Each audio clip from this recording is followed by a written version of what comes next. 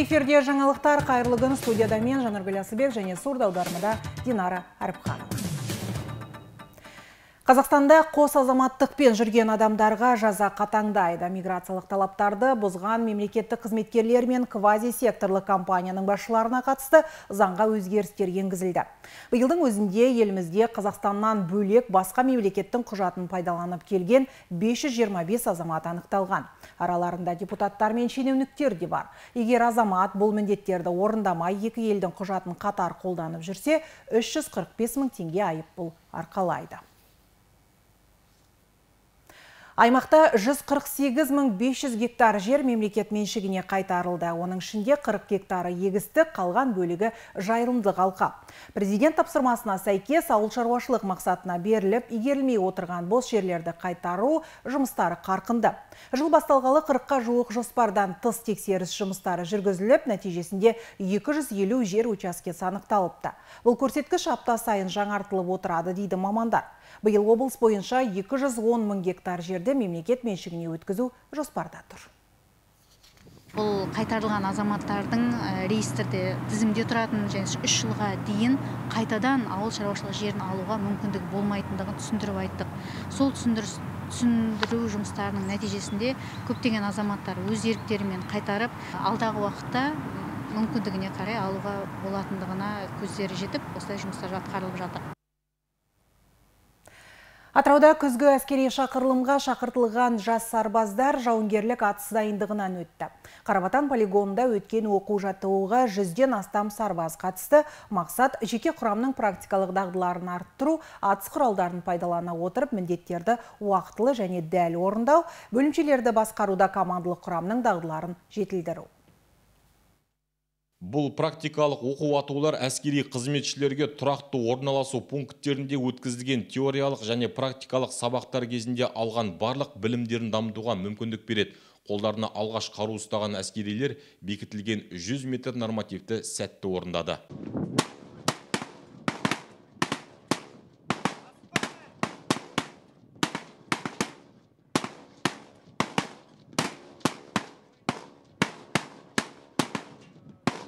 Аға лейтенант ғаппаров мұсабек досалұлы жас сарбаздар ротасының бірінші взвод командирі. Бүгін жас сарбаздар ротасы қаработан оқу жаттығу полигонында атыс дайындығынан бастапқы оқу жаттығуын орындауда.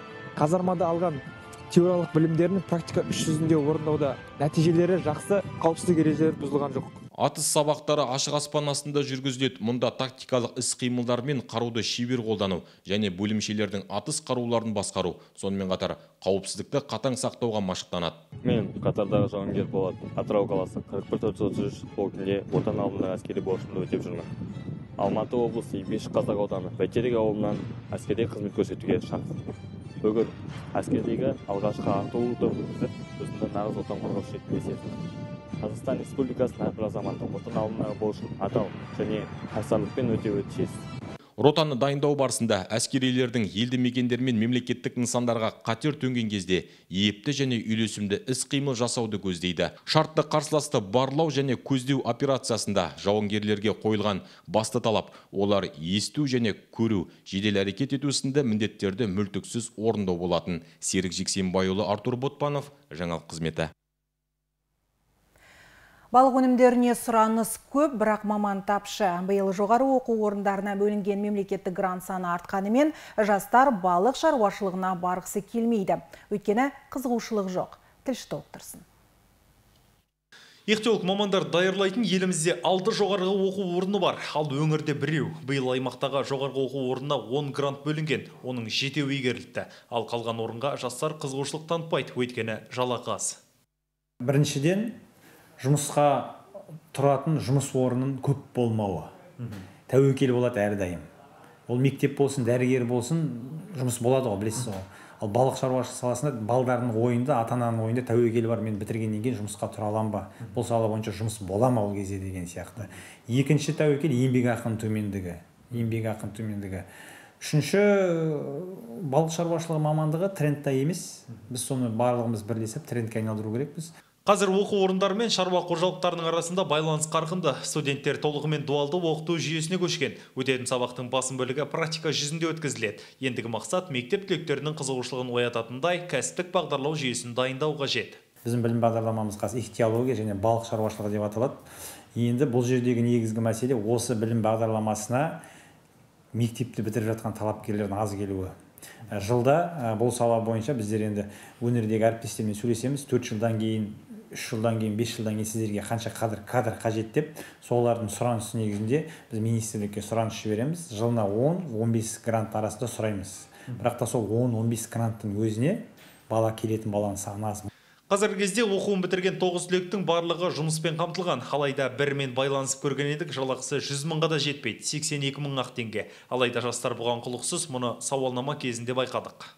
білмеймін не маманы балық шаруашылығына қызығушылығы бар мүмкіндік болса барар едім балық шаруашылығы жалпы менің ондай есім бар негізі бұрында Жалпы барар ма едіңіз мүмкіндік болса? Екі жыл бұрын елімізде балық шаруашылығын дамытудың 2030 жылға дейінгі бағдарламасы қабылданды. Арнайы комитетте құрылды. Балық өндірісі көлемін 600 мың тоннаға жеткізсек деген жоспар бар. Кадр мәселесі шешілмей, саланы дамыту қиын дейді мамандар. балық өсіруші мамандардың саны қанша көп болады солай жақсы болады ғой. Себебі балық өсіру мекемелерінің ашылуы тікелей сол балық өсірушілерге байланысты. Ә, олардың ә, санын белгілі бір ә, көрсеткішке жеткізу емес негізгі мақсат.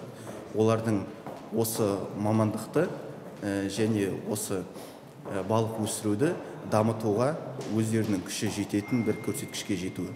Қазір мемлекет балық шаруашылығын дамытуға жан-жақты қолдау көрсетіп отыр. Өзен көлдеріміз жетіп артылады, тіпті биыл мемлекеттік гранттардың саны тағы көбейген. Десе де маман тапшы, сондықтан балық шаруашылығын жан-жақты дамыту үшін бірлесе жұмыс істеу қажет. Нұрсұлтан Нұрсейт, Алихан Таңат, жаңалық қызметі. Тоғыз айда Әділет департаментінің атқарушылық өндірісті қамтамасыз ету бөліміне жеке сот орындаушыларының әрекеті мен әрекетсіздігіне қатысты 177 шағым түскен.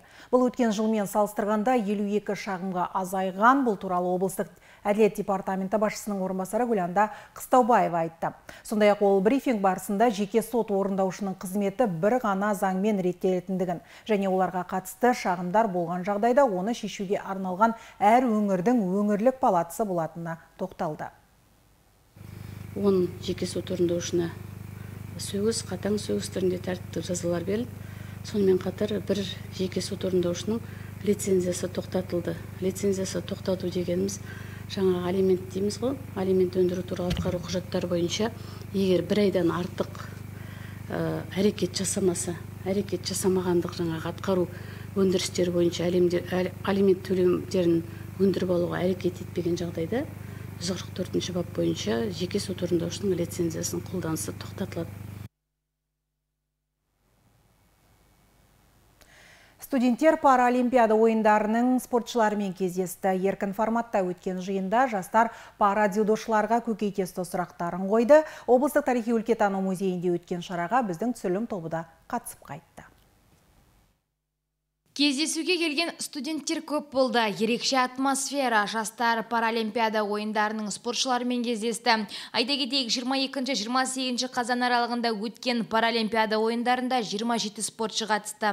Бір жыл бойына тыңғылықты дайындалған спортшылар қоржынға екі күміс үш қола салды. Басқосуда паралимпиада ойындарының жүлдегерлері өздерінің жарысқа қалай дайындалғандарын және жастарға ақыл кеңестерін айтты. бірінші қарсыласым моңғолиялық палуан болды сол моңғолиялық палуанды жеңіп жартылай финалға шықтым. Жартылай финалда өзбекстандық палуан соны таза ұтып финалға шықтым. Алтынға моңғолияның сол екінші палуанымен күресіп э, финалда бір қателік жіберіп қойып сонан екінші орын алып қалдым. Психологиялық та физикалық жағынан да толықтай дайын болып бардым. Сол қобалжу ешқандай ештеңе болған жоқ жақсы дайындықта жақсы формада бардық Спортшылардың жаттықтырушысы Жандос Қиянов алдағы жарыстарда намысты қолдан бермейтіндерін әрі алдағы сайыстарда үздіктер қатарынан табылатынын айтты. Қазір спортшылар 2024 жылы Париж қаласында өтетін Паралимпиада ойындарына дайындықты бастап кеткен. біз енді алдағы төрт жылдықтың ең үлкен додасы париж паралимпиада ойындары ол келесі жылы парижде өтеді соған біздер қазір ұпайлар жинап жатырмыз. Осы пара азия ойындарында да ұпайлар ұтып алдық осы қатысу үшін. Енді бізде алда төрт халықаралық жарыс бар. Сол төрт жарыстан кейін кімнің паралимпиадаға барады бармайтыны белгілі болады. Сол жарыстарға дайындалып жатырмыз. Айта кетейік 2022 жылы облыстық тарихи өлкетану музей қорына токио 2020 паралимпиадасына күміс жүлдегерлері әнуар сариев теміржан дәулет және зарина байбатиналардың спорттық киімдері қойылды. Раушан нұрболат ақмарал бейсенбаева айбек қалымов жаңалық қызметі.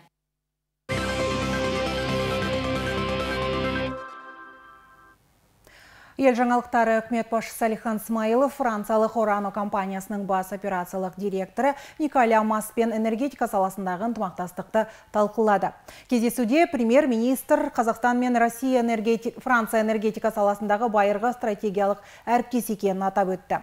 Орано біздің осы бағыттағы маңызды және сенімді серіктесіміз. Компания Қазақстанда 27 жыл бойы табысты жұмыс істеп келеді. Бұл орайда Катко бірлескен кәсіпорны ұзақ мерзімді және өзара тиімді серіктестіктің дәлелі. Біз ынтымақтастықты одан әрі дамыту мүмкіндіктерін қарастыруға дайынбыз деді Алихан Смайлов. Өз кезегінде Николас Мас Орананың Қазақстанмен өзара іс-қимылды кеңейтуге қызығушылығын білдірді. Қазақстанға Еуропадан тағы бір мәртебелі мейман ұшып келді. Бүгін Мажарстан премьер-министрі Виктор Орбанның ресми сапары басталады. Оны Астана әуежайында вице-премьер Серік Жұмангарин қарсы алған. Бүгін еуропалық қонақ мемлекет басшысы Қасым Жомарт Тоқаевпен келіссөз жүргізеді. Тараптар Қазақстан мен Мажарстан арасындағы сауда экономикалық, инвестициялық және мәдени-гуманитарлық салалардағы ынтымақтастықты одан әрі тереңдету мәселелерін талқылайтын болады.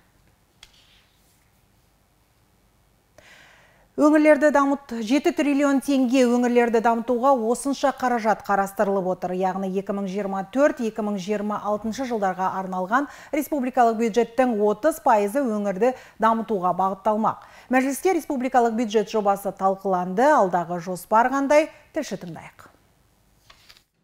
Бүгін мәжілістің жалпы отырысы бір минут үнсіздікпен басталды. Премьер-министрден бастап министр депутаттар Костенко шахтасында қайтыс болғандарды еске алды. Ал алдағы бюджет жоспар ауқымда. Мәселен, зейнетақы мен жәрдемақыны төлеуге 5 4 триллион теңге көзделген. Отбасыларды қолдау үшін бала күтімі кезеңі бір жарым жасқа дейін ұзартылды. Осы мақсатқа келесі жылға 94 миллиард теңге қарастырылып отыр. Мемлекет басшысы Қасым Жомарт Кемелұлы Тоқаев биылғы жолдауында жаңа экономикалық саясат жариялады. Оның түпкі мұраты халықтың әл ауқатын арттыру. Осы орайда республикалық бюджет бірінші кезекте президент жүктеген міндеттерді іске асыруға бағытталып отыр. Ең бастысы бұл құжат әлеуметтік міндеттемелерді толық орындауға елдің тұрмысын жақсартуға мүмкіндік береді.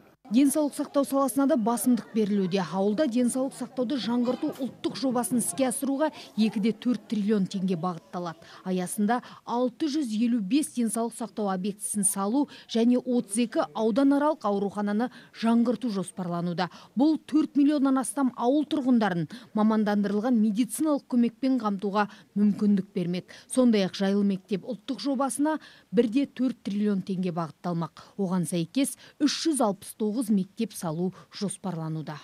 Бюджет шығыстарының тағы бір маңызды бағыты өңірлерді дамыту.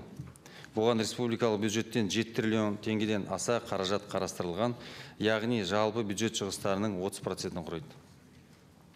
Сонымен қатар ә, мәжіліс депутаттарының ұсынысы бойынша үкімет резерві есебінен ауыл ел бесігі бағдарламасын іске асыруға қосымша 15 миллиард теңге өңірлердегі әлеуметтік және инженерлік инфрақұрылымды жаңғыртуға 38 миллиард теңге жуық қаражат бөлу қолдау тапты. Депутаттар республикалық бюджет туралы заңды қабылдап сенаттың қарауына жолдады.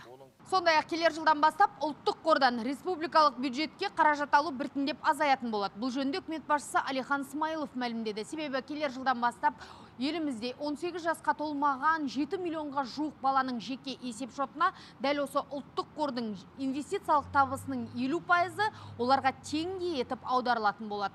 Сондықтан қордағы қаражат ұлт болашағына тиімді жұмсалуы тиіс.